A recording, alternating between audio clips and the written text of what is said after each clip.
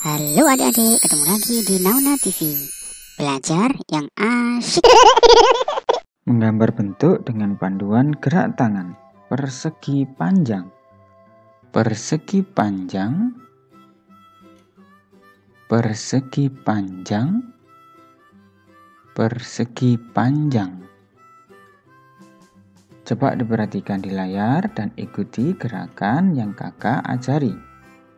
Sebelah kiri pendek, bawah panjang, kemudian kanan pendek, dan atas panjang.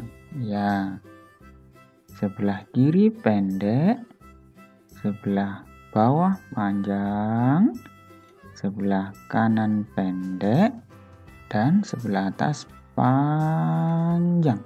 Ya. Kita ulangi lagi. Sebelah kiri pendek, sebelah bawah panjang, sebelah kanan pendek, dan sebelah atas panjang. Kita ulangi sekali lagi. Coba diperhatikan baik-baik. Sebelah kiri pendek, sebelah bawah panjang, sebelah kanan pendek, dan sebelah atas panjang. Adik-adik pasti bisa.